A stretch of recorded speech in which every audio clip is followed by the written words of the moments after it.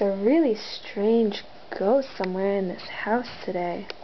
Is that box shaking? There must be something inside of it. But there's not. Hmm.